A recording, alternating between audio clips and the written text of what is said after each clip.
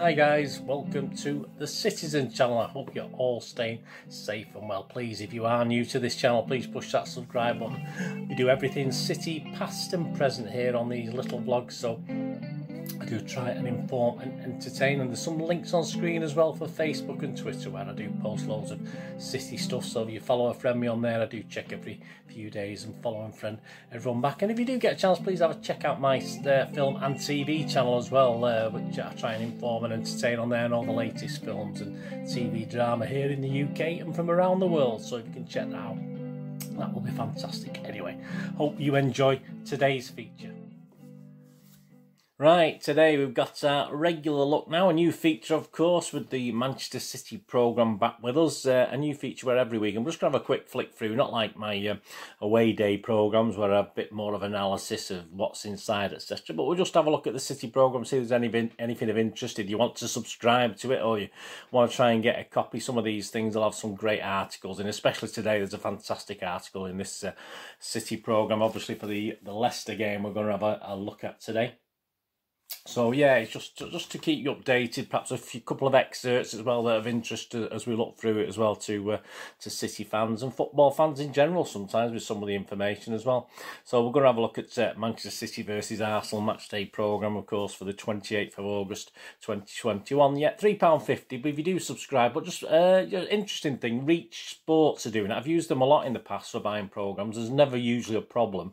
Uh, but I did subscribe as well. I, am going to get copies when I go to the matches, but I'm just going to get a pristine copy if I can through the post. But uh, I did subscribe before the Norwich game. Uh, I've still yet to have either copy of the Norwich or the Arsenal one, which is unusual. They sometimes arrive before the game. So uh, if any of you out there have had a similar thing with Reach Sports, let me know. But uh, I will be contacting them uh, over the next few days if, if they don't arrive because I'm, I'm, a bit surprised that I've certainly not. Had, all right, it may have been a bit late for the uh, for the Norwich one, but it certainly wasn't late for this one. So Anyway, but they are usually very reliable, don't get me wrong, and you can subscribe through there and it works out about £3.25 uh, for 26 issues. So obviously we don't play 26 home games, it'll carry over to next season, etc, etc.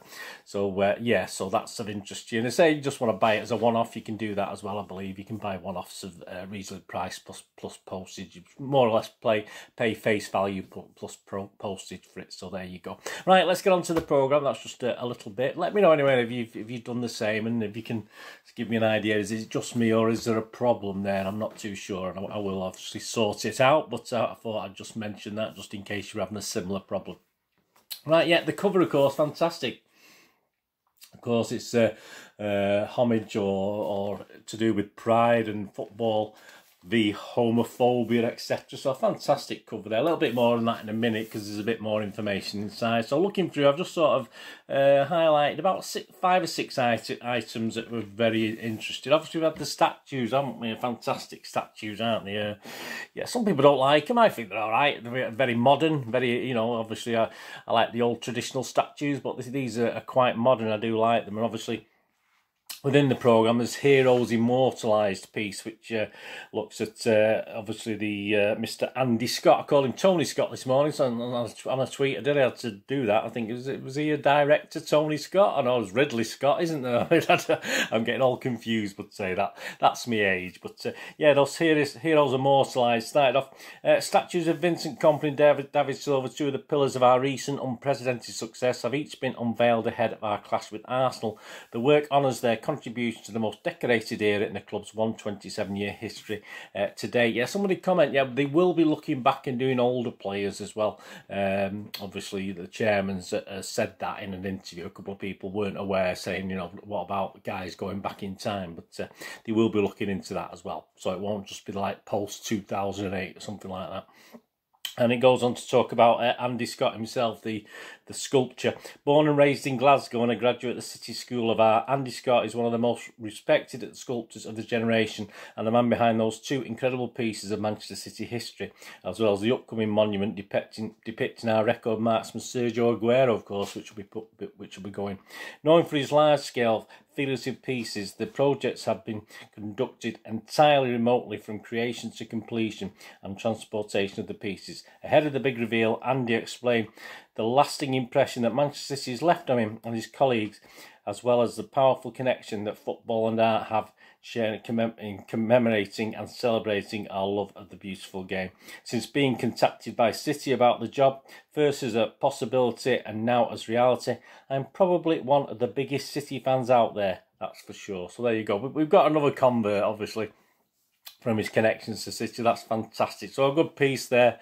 Uh, heroes immortalised. And then he goes on to this City Pride thing, as I said. That's fantastic. This weekend, our beloved City joins together to celebrate Manchester Pride in its 36th year. The festival has become one of the largest Pride celebrations in the UK, attracting upwards of 140,000 people. Yeah, I don't think there's a parade this year, was there? But uh, it's a great piece, and it goes on to explain about the the, the limited uh, sort of Puma shirts, them shirts that the lads are wearing there, uh, Phil Foden, Grealish, and uh, Mr Torres are wearing there, uh, and obviously the front cover featured those things there. Uh, it was a limited edition Pride t-shirt designed by our competition winner Lilies. Yeah, so they had a competition for this. After selling out of its initial run, Puma are re-releasing the shirt to join us in our celebration. So make sure to check out our online club shop, mancity.com slash shop and get yours before it sells out again. So that's fantastic. They do look they do look really impressive. If that if you want to uh, buy one of those, they're fantastic. And it takes us nicely into a Q and A with them. Um, David Alvarado, he's he's the uh, current chair of the Canal Street Blues, and it's a great little question and answer piece about his, you know, his, his sort of connection to City, how he first started, and links with other groups, etc., etc. And a couple of last paragraphs I thought I'd just uh, quote for you. Uh, obviously, very of interest to you if you if you're any interest in, in joining this sort of group or, or whatever. Uh, one of the questions asked was, how can fans get involved with CSB? What is the membership process, and who is it open to? Uh, and of course, Dave goes on to say the modern way would be to contact us on social media. I guess we are at Canal Street Blues on Twitter and Canal Street Blues uh, Blues LGBT on Instagram. Um, or we can also be found on Facebook, Canal Street Blues MCFC Supporters Club. The joining process is to log onto the City website and apply to join the OSC selecting Canal Street Blues as your chosen branch. Anyone is welcome. If someone wants to chat to us first, then that's fine too. So there you go. And then he goes on to say, um, ask the question, what can fans in general do to support LG, our LGBTQ plus fans in Stadia and online? How can they be strong allies? Uh, online abuse is a hot topic nowadays, uh, says uh, says Dave. Uh, as has been highlighted by the racism issues we have had after the Euros, the internet can be a horrible place, and those that seek to cause hurt and divisiveness feel they can say what they want with no consequences. The best thing people can do is call out bad behaviour such as that pe- that people know they are the ones with the problem. But it's also to think about what they are saying and why and what does it add to supporting our club, other than perhaps upset people that just want to give City their love to. Let football and our club unite us rather than be a conduit for abusing each other. Great words from Dave there, and a great article. Say lots of questions and answers there. It's fantastic, uh, you know, and of interest to someone like me who doesn't really know much or get involved in much about that sort of thing as well. It's fantastic. Uh, yeah, the play for both feature was was nice. Uh, this issue they got Patrick Vieira, of course, and obviously his links with Arsenal and City, uh, and other players that have been linked. Obviously, um, I, I, always have a look to see if I know all these. We've got Clive Allen, which I knew, Sil- Silvinho, which I knew, Dave Bacuzzi, which I knew, Tommy Caton, James Blair. Not too sure on James Blair, I'll have to check that one up. Uh, Billy Blythe, yeah, that's another name I'll have to check up as well. Paul Dickov, Eddie McGoldrick, David Rocastle, David Seaman, Dave Halliday, yes, yeah, sort of, sort of with him. Uh, you know, uh, if you do, if you look at my vlogs, you'll probably know why I've said that. Um, Niall Quinn, Emmanuel Adebayor, Bakary Sagna, Nicolas Anelka, Patrick Vieira, Kolo Touré, Brian Kidd, Samir Nasri, yeah, we sang his name a lot at this game, and uh, Gael Clichy, so there you go a great blast from the past, which is a regular in this. You know me and my black and white images. I love them. I love to love them to bits. I love these old fashioned pictures, even when it's a game where they would be in colour. I think there's just something about black and white that uh, sort of sets it off. And all these are with the backdrop of the Kippax as well, which uh, which is fantastic. And it sort of celebrates a, a Tommy Caton double against Arsenal back off. It was the fourth of December, 1982. So of course Tommy Caton no longer with us, and then he, he actually signed for Arsenal a year after this. So obviously he left an lasting impression. But I was was at, at this game, and I say it was a last minute winner, which is fantastic. You know, just just as good as a five 0 thrashing, or you know, is, is a last minute winner. So some great images there, and obviously going back to the wonderful, fantastic uh, Tommy Kate, and of course and then my highlights of the magazines. Now this is this is worth the three pound fifty every week, or the three twenty five to subscribe. Of course, Gary James is back, isn't he? Gary James is back in the program with his history stuff, which is fantastic for me. And he's getting, you know, uh, certainly last couple of issues. I think he's had four pages to uh, to actually put stuff together. And he's been looking this week at history and what makes a big club. And is it supporters? Is it trophies? Is it how long you've won trophies for? Is it when you won your first major trophy? All these sort of things are answered. And if, if anything, just to buy this program for this is absolutely fantastic.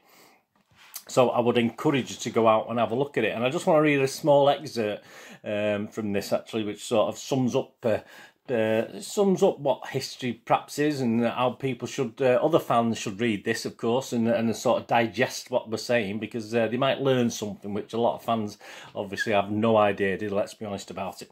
But I'll just quote this little bit Around 20 years ago, Mike Aylott, a member of the Association of Football Statisticians, performed detailed analysis as to determine the biggest clubs in England.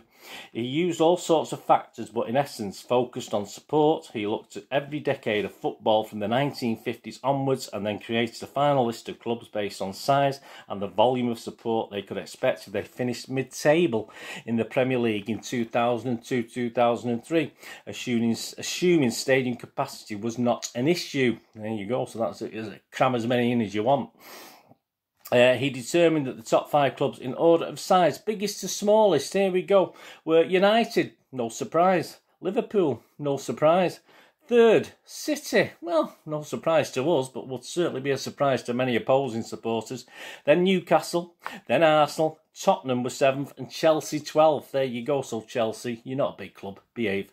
Well, you are a big club, but just accept the fact that, you know, City are a big club as well, because a lot of Chelsea fans don't appreciate that. Uh, Aylott's analysis came before the major stadium developments at most of those clubs and before sustained success for both Chelsea and City. Both factors will undoubtedly change the results positively for City and Chelsea. Yeah, so all right, we might not have overtook United and Liverpool, we would have probably got closer and certainly it would have helped Chelsea a little bit as well. But it does, does, does give a good indication, says, uh, says uh, uh Gary James of how before the 2008 takeover, City were already regarded as one of the top three clubs in terms of status and size. In fact, Aylott calculates City to be the third biggest club in the 1980s behind United and Liverpool and ahead of fourth placed Arsenal and fifth place Spurs. This was this isn't a City fan, this is just general, this is just a guy doing a study.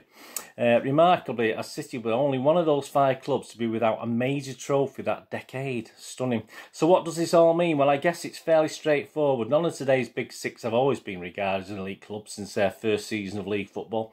However, City fans can be proud of the fact that whether it's success or support, City have certainly been regarded as one of the football's biggest clubs since the early, early 1900s. Yes, please read and digest opposing fans. Learn something before you come out with your absolute guff and rubbish. But uh, fantastic, Gary James. As I said, that uh, that uh, loads more in that article. Yeah, please just just buy it just for that. It's absolutely fantastic. Well done, Gary.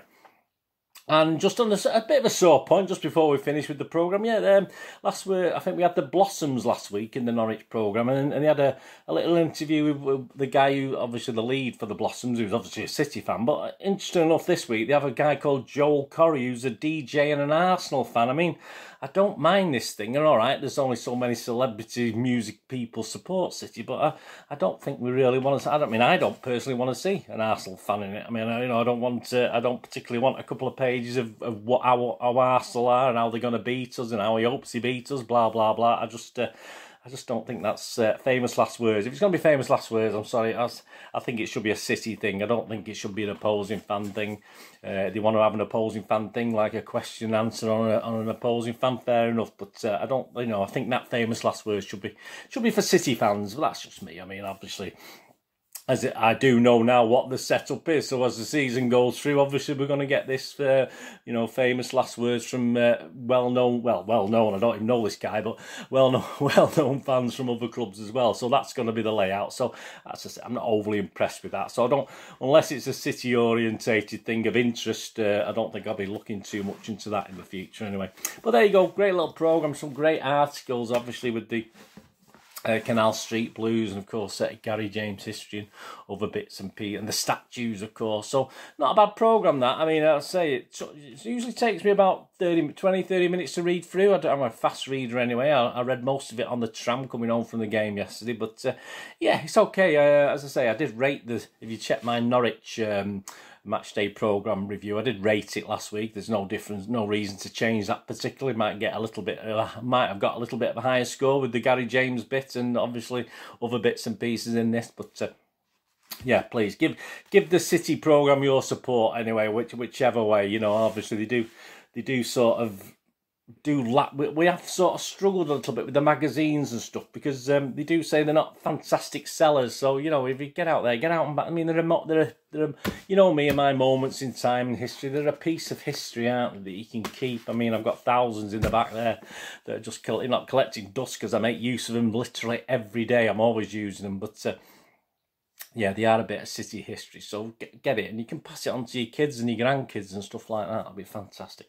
Anyway, thanks for joining me today. Hope, hope you enjoyed that. Let me know any comments you want to make on that and uh, what you thought looking through the magazine if you bought it. Anyway, thanks for that. Whatever you want to do rest of the day, have a great one. Look after yourselves, look after your friends, look after your families. More importantly, let's all look after each other. So we meet here again on the Citizen channel. Or perhaps have a break, have a look at my film and TV channel as well. I'll try and inform and entertain on there as best I can. That would be fantastic. Anyway, I only ask one little thing off you, don't I? Please stay safe, Blues. Come on, City. Thanks for watching. Bye for now.